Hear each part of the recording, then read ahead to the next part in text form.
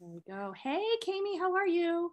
Good. How are you? I am good, thanks. Thanks for your time today. I'd like to introduce you to Ashley and to Tommy, our voice talent from Rugrats today. This is Kami Hi there. Good morning. She's from the Momma Diary. She's over in Rhode Island, so way on the Ooh, other side. you know yes. these are like eight minutes. I'll ping you at about the two minute mark when you've got about two minutes left, and um, I'm going to go off screen and you can get started. All right, thanks. Okay. Hi, Ashley. Hi, Tommy. I'm Kami. Hi. Hey, from- so good to meet you.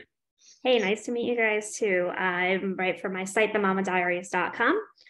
And so the Rugrats, you know, it's such a well-known franchise. And I really love how they've, you know, like rebooted this series to kind of like pass the torch to the like new generation. Yet at the same time, I think that, you know, like parents are kind of happy about it too, because, you know, for the nostalgia and they're able to, you know, watch with their family, which I think is really special. Um, I really like that a lot. So for both of you, I'd love to know, you know, what is your favorite thing um, oh, I mean, no, that would be your favorite thing. I'm sorry. What, what was it like coming into these roles um, and, you know, just making them your own? I mean, it's tough, you know, coming into a, a, a legendary uh, franchise and and filling the shoes of the great Jack Riley, who was the original Stu. Um, so I think the best thing, just from an acting perspective, the best thing to do is not think too much about. And you're sort of doomed if you if you start thinking about it, you certainly don't want to do an imitation of um, your predecessor. So, um, kind of just hoping that your DNA aligns with, for me, that aligns with the new Stu, which I think, I think, I think it does. I think, I think we're pulling it off. Um, um, so bringing, you know, finding what's sort of authentic to you and bringing it to the characters, I think, it, I think the key to to making it work because it's, I mean, you know, it's it's uh, animation, but it deals with some um, really real relatable stuff. So, you know, to the extent you can can bring that stuff from your own life into it. I was just telling Ashley before we got on with you, I have a I have uh, my my child is now 14 months old, so my story kind of parallels Stu's second season Stu a little bit. So um, I'm kind of using that as a resource also. You're using it as a resource. I love that. That's a polite euphemism for how I'm, right, right. how I'm handling parenthood.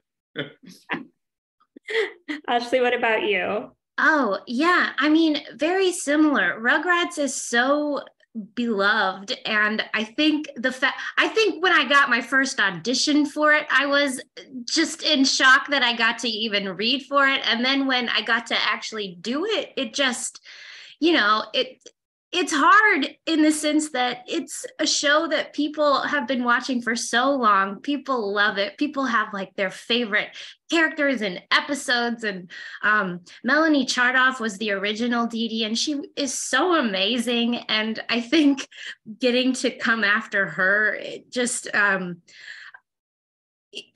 like Tommy said, you don't want you, you the, it, it would be the death of you to try and um, do anything the way they did. I think you just have to bring yourself to it, and again, hope that whatever is it within you is what they saw to be a good fit for this new iteration of the character, and just kind of go for it. But I mean, she was so amazing. I loved Didi, like the original Didi, her hair, and just she had a little more like sass, I think. And I just love that about her. I think I tend to be a little more on the neurotic side. And I don't know what that says about me in my real life.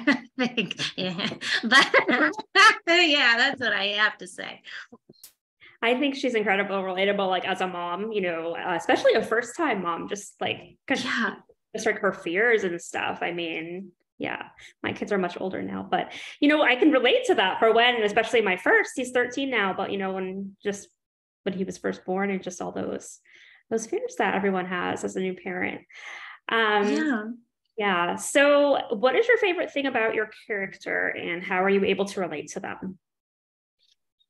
Well, I mean, I'll just step in. The uh, like the Stu's frantic energy is my favorite thing to play. Stu Stu is um is is you know high, high strung maybe to to put it kindly.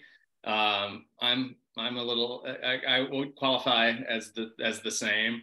So slipping into that kind of gear, there's too much going on. Um, how can I sort of balance childhood with my own you know, goals to be an inventor or something. Now I'm speaking as Stu. Um, I'm not an inventor. Um, the um, well, I wanted to be when I was a kid. Um, and then um, I loved I love some of the stuff that we've done recently. There is a there's a scene and I and I'll forget the episode name where Stu discovers a gray hair, and the exact same thing happened to me within a month of recording the episode. Uh, this wiry one sort of wiry gray hair popped out, and I had a melt. My poor wife was like, "God, I didn't know I signed up for this, you know. So to the extent that I can kind of, you know, I'm talking about using my kid as a resource, to, to the extent I can use my anxiety as a resource to like tap into to Stu. Um, I like it, and it's just so funny. I mean, Ashley would probably say the same. The stuff is so cleverly written and so funny. It's just kind of you kind of just get on that joyride during a recording session, and and um, and and and it sounds cliche, but it, just have fun with it, you know. Just I, I just mm-hmm. look reading what they're sending us. Yeah, same. I mean, every time I get a script and I read it, I'm, I find myself laughing out loud. And if there's any moment where I feel like I don't know what to do, all I have to do is look back down at the page because it really is all right there for you. And I think I love about Didi is I just love her open heart. Again, like her fear, it's there. She has anxieties. She's not afraid to show them. But then always by the end of the episode, she like finds her way through the fear and, you know, goes for things anyway. And I just, I love that about her. Um, just, yeah. And she sees the best in everybody. She's always very, you know, she just, I don't know, her heart. I think she just has such a sweet heart. She does. Stevie has a, uh, maybe the biggest heart in the whole show. I love her. yeah, they're both they're both really fun characters. You guys, you must have a lot of fun playing them, I would assume. Um, so, what is a storyline that you would like to see for each of your characters that maybe necessarily hasn't been done yet? Oh, something that they'd like you'd like them to explore because i love how like you know in this this series that you the parents are featured a lot more, which I think is really fun.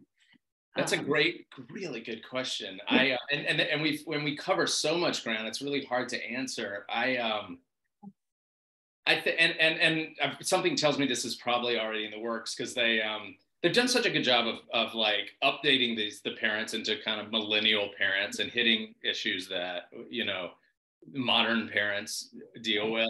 Um, and it might be fun to do on to see the sort of uh, juggling taking care of kids and taking care of yourself physically. I we've I, I, know we've kind of danced around that, but you know, trying to mm-hmm. get back in shape while also sleeping for 30 minutes a night and that kind of thing.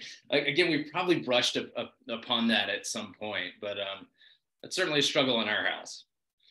Yeah, but they're really good at bringing all of these like life things into the show because I think I was going to say something similar, like in in the realm of you know taking care of your kids and also like living your own life that is still yours and and doing the things that you want to do that maybe don't always feel like they're going to work with kids but um and i know that we've you know there was the episode where we all went out to a concert i think they all and and that that happened and the kids ended up showing up i think i don't i think, I think that's season pilot. i mean not the pilot yeah yeah that's it Right. And so I just know I don't have kids, but I know from my friends, all my friends have babies, and I just feel their frustration when I'll say, Hey, come over for dinner tonight around seven. And they're like, seven is seven's bedtime and we can you know oh maybe next time we could do around four you know just things like yeah. that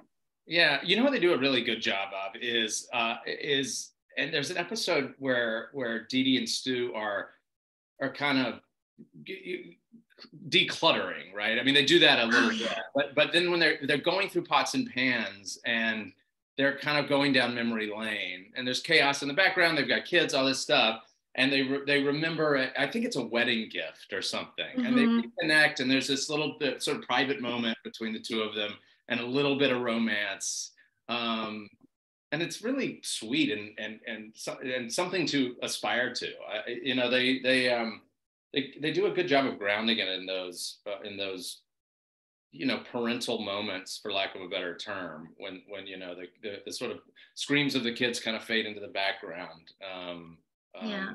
Which is sort of what it, it's it, it- you know you ask about your our favorite stuff to do in the series it's really fun to kind of uh, you know use that emotional gear a little bit too Great.